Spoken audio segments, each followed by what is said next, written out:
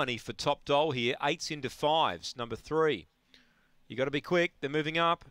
Race two. All in. Good even race this one. Race two. Set to run. Favourite Georgia McBain. They're ready.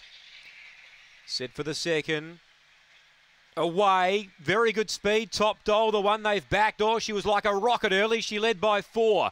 Plunderhawk through to second. Then came Little Maria. Georgia McBain on the way four. Then just centre midfield. Excavators well back with also Flying Luna and in trouble Demolisher, but often gone top doll. She's been heavily back. She led by three. She ran wide. Plunderhawk keeps coming, but top doll.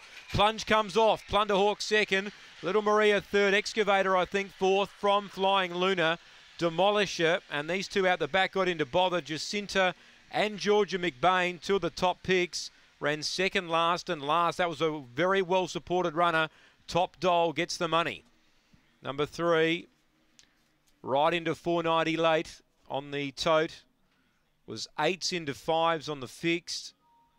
And for Kevin Manane, gets the money.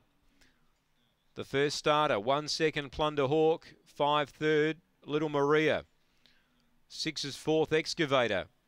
7.04 early, 12.8.